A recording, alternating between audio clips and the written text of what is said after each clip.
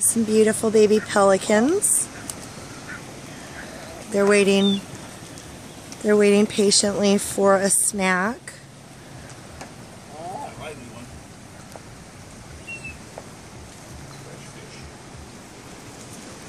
And then we have the awesome fishermen. They just caught a bunch of fish, which was awesome. And I wish I was going to be at their house to eat it all later.